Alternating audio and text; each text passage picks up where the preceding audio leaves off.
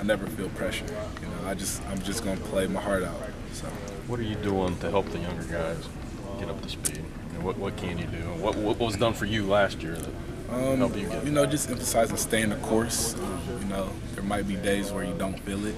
You know, there might be days where you're tired, but you know, we just gotta you gotta push through it because um, you know that one second or that one play you took off. You know, I mean, that can be vital when the uh, end of the season comes. What did you learn about leadership a year ago with, with the older guys? Um, you can't take any days off. You know, if you're gonna say it, you gotta lead by example. Also, you know, um, you can't just be about it and not do it. So, I mean, you can't just talk about it and not do it. So, it's definitely uh, more of a focal point on you. You know, uh, in the weight room, on the court, on the track. You know, you can't slack. How the freshmen been? They've they been receptive to what you guys? Oh yeah, definitely. I mean, on the other hand, we're also close in age this year. You know, 19, 20 years old, and uh, I mean we can relate. You know, last year, um, you know, we had four seniors, a lot of freshmen. So this year, I feel like we're all going th- at the same point in our lives, so they can relate more to us. You guys seemed to make it work last year, but how weird was it having such an old group and then you young guys Um, here? you know, we made it wasn't work. anything in the Yeah, we made we made it work, but chemistry-wise, I just feel like this team is just gelling way more than we did. You know, we all live together. Um, you know, um, we go to eat together, we wake up together in the same classes, so um, we're around each other 24/7.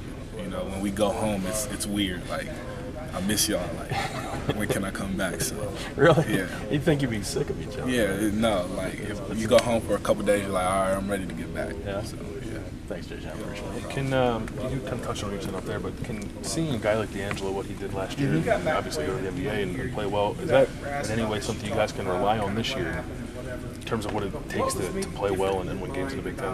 Um, I don't understand.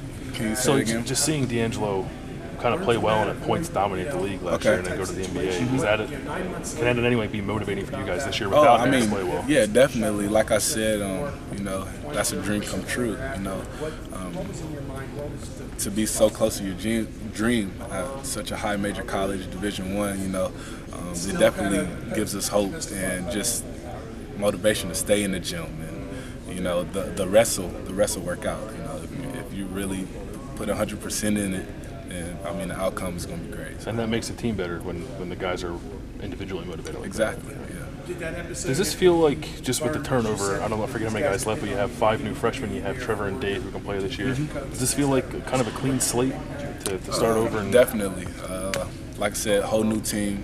Um, you know, we're not thinking about anything of last year. This is a whole new team, whole new personality, um, and it's a clean slate. And we don't think about what happened last year or the year before that. Um, we're starting this year out right. So. I'm sure you've probably been asked this, but the, the, the new guys who are in, maybe AJ and, and Jaquan in particular, who are going to have to handle the ball.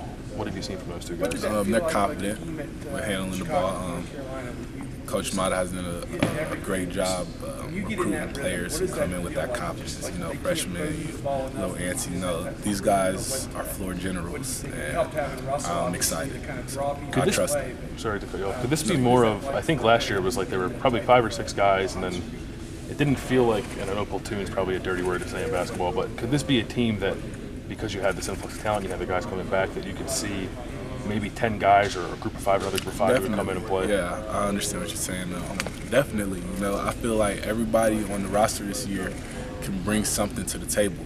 Um, it just depends on, um, you know, how practice goes, but definitely everybody on this team does something that will benefit us in the game. How are you better this year?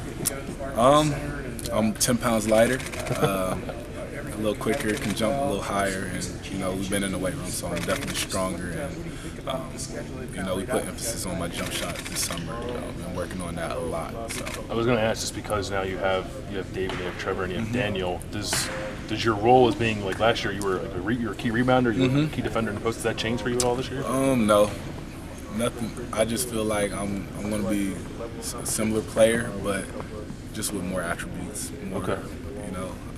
You know, like I said, developing the jump shot, but um, the that just comes with playing hard. Defense, rebounding, and um, guarding. That's just playing hard. That's not really a key for me. So. Right. Thanks. Yep. Can you talk about? I mean, you have a kind of unique situation. You know, you have a father that played on that on the highest level Mm-hmm. in regards to like the college level.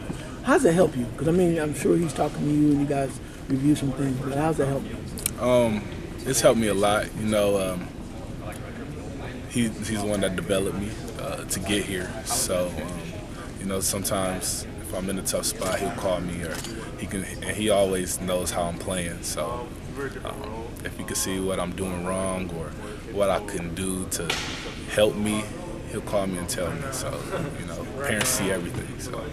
You don't want to talk too much about last year, but you played a lot last year. I mean, this year, new slate, everything like that.